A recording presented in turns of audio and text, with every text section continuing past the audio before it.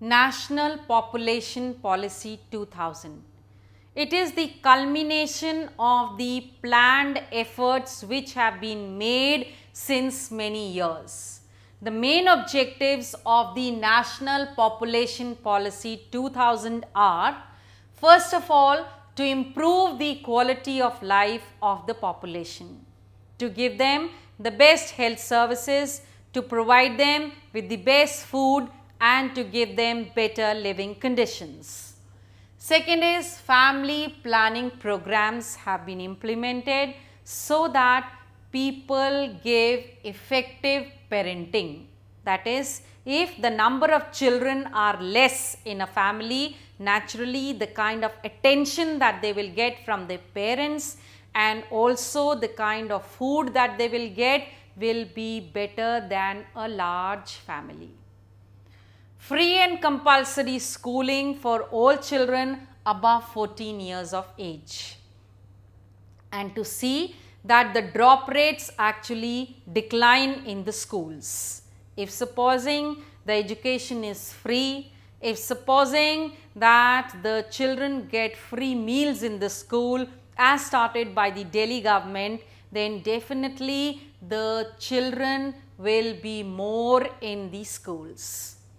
Next is reducing infant mortality rate. And you can just reduce the infant mortality rate only if the mother is not very small in age. That is the marriageable age is increased. And if she gets good nutritive food, if she gets best medical facilities during her pregnancy, that is the time that you can actually reduce the infant mortality rate. Promoting delayed marriages.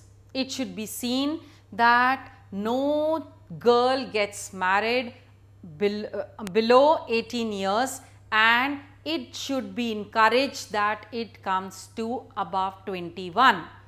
When the marriages are delayed then naturally the lady or the girl is fit, healthy mentally, physically and thus the population of the country also becomes healthy.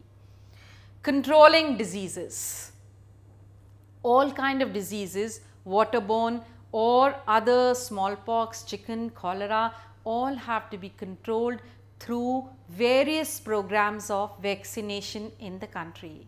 And we've been looking at the polio vaccination program wherein most of the people or most of the children in the country are vaccinated against polio and it is believed to be nearly eradicated in India which comes under the National Population Policy.